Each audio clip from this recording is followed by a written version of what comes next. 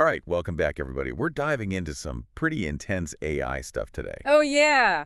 We're talking about large concept models, LCMs. LCMs. You got it. oh. Now, you might be thinking, oh, great, another AI acronym, but trust me, this is a big deal. Huge. It is. This is brand new from Meta, like just dropped a couple of days ago. It's cutting edge. Absolutely cutting edge. We're basically bringing you the research conference breakdown right here, right now. No jargon, though. Exactly. No jargon. We'll break it down so everyone can understand. For sure. Think of it like this. Imagine understanding the pure meaning of any sentence, no matter what language it's in. Oh. I know, right?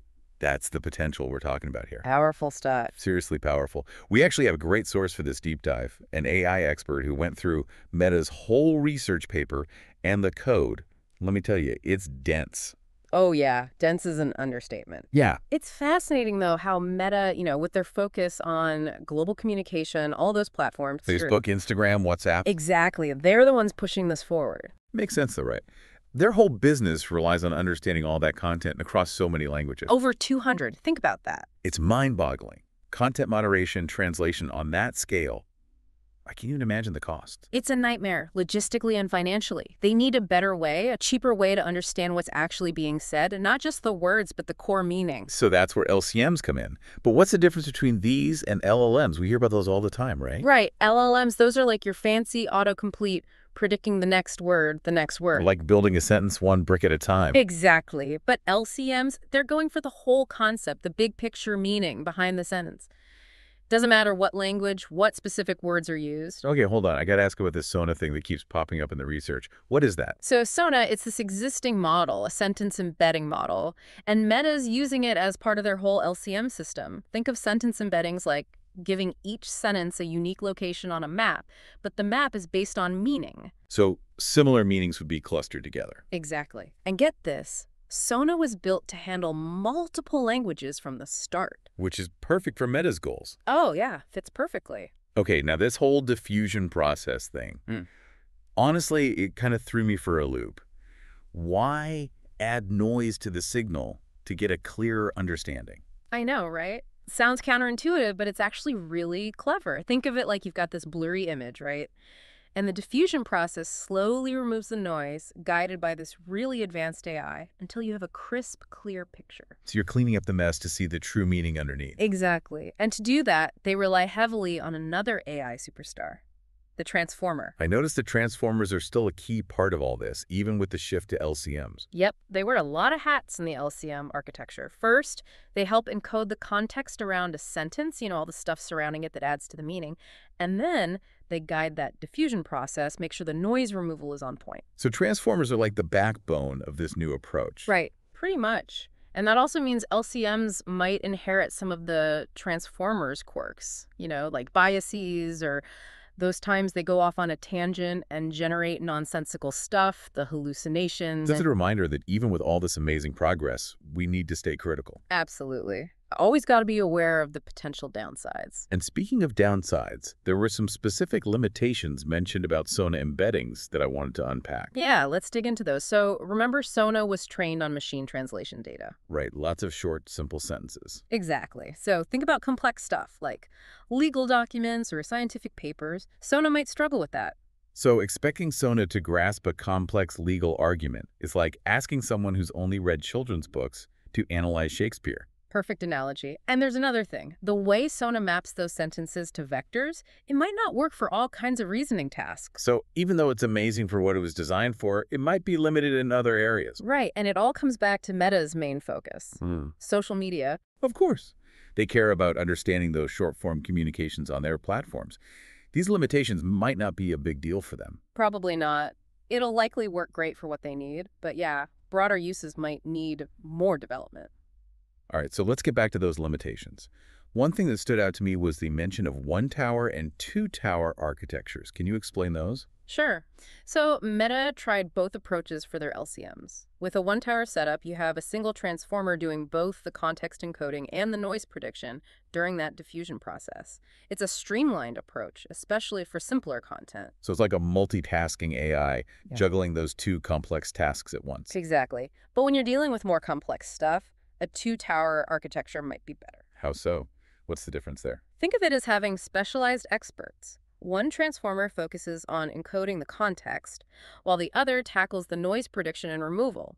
They each have their own expertise. Ah, so it's like a team of AI experts, each with their unique skills, working together on a project. Perfect. But of course, there's a trade-off. A two-tower setup might be more powerful for complex stuff, but it also needs more computing power. Makes sense. More power usually means more resources. Exactly.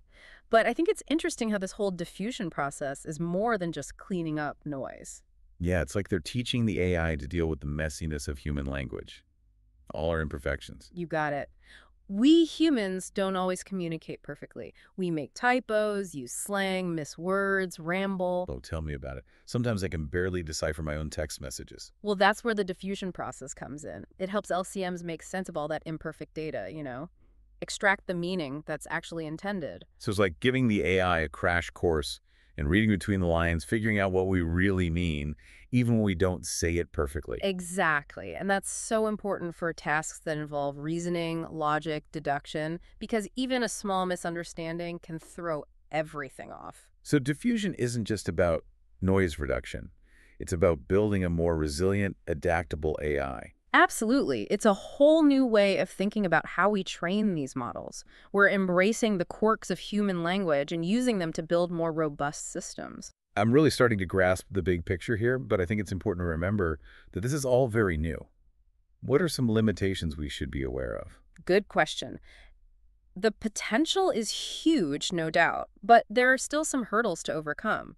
Like we talked about before, that choice of embedding space is super important.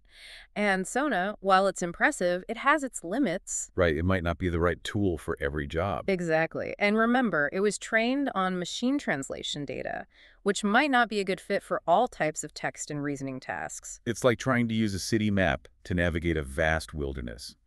The wrong tool for the job. Another great analogy. And here's another thing, since LCMs rely on those transformers, they might inherit some of the biases we know transformers have. Right, so even though it's a step forward, we still need to be careful, critical in how we evaluate this technology. For sure. And here's another challenge researchers are facing. Right now, LCMs still treat sentences as individual units, even though they represent them as these continuous vectors. Wait, so how does that work? Well, that's the problem. It creates a kind of disconnect with how diffusion models work. Diffusion models typically operate on continuous data, not discrete units like sentences. It sounds like they're trying to fit square pegs into round holes. Yeah, kind of. And this discrepancy might be holding back the true power of diffusion models within the LCM framework. So it sounds like there's still a lot of work to be done before LCMs reach their full potential. Definitely. But the pace of AI research is crazy fast. I'm confident we'll see some major breakthroughs in the next few years. Okay, let's recap for our listeners. What are the key takeaways about LCMs? Well, first off, LCMs represent a huge shift in how AI understands language. It's not just about predicting words anymore. It's about grasping the underlying concepts, the meaning. And that opens up amazing possibilities like seamless communication across languages, better reasoning abilities, and a much deeper level of interaction with information. It's like we're witnessing the birth of a new kind of language, one that AI can truly understand and use to engage with the world. That's a beautiful way to put it. But like with any powerful technology, we have to be aware of the limitations. It's mm-hmm. still early days, and there are challenges, right? Like choosing the right embedding space, dealing with potential biases from transformers, and figuring out how to best integrate those diffusion models with how we represent sentences. So it's a mix of excitement and cautious optimism. Exactly. And it's a story that's still unfolding. We're at the forefront of a new era in AI, and we all have a role to play in shaping its development, making sure it's used responsibly. Well said.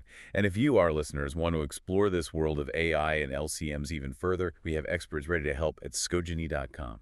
They can answer your questions, walk you through the technical details, you know, really help you understand the potential of LCMs. It's like having your own personal AI guide right there with you. Exactly. And it's not just about the technical stuff either, right? We got to think about the bigger picture. How will this impact society, our culture, even the way we communicate as humans? It's almost like we're not just teaching AI to understand our language, but learning a new way to communicate with AI ourselves. Yeah, and as the technology keeps evolving, we have to think critically about the consequences, the good and the bad. So it's a journey for both us and the AI. Absolutely. And we're just at the beginning. Who knows what amazing applications we'll see as researchers keep pushing the boundaries of LCMs. It really feels like we're on the verge of something huge. Human and artificial intelligence working together, unlocking possibilities we can barely imagine. I think you're right, and that's why it's so important to stay informed, ask tough questions, and really engage in these conversations about the role of AI in our lives. Well said. And on that note, we've reached the end of our deep dive into large concept models. We hope you learned a lot and had some fun along the way. Don't forget, this is just a glimpse into a field that's changing every day. Stay curious, keep learning, and never be afraid to explore the unknown. Until next time, keep those concepts clear and those embeddings noise-free.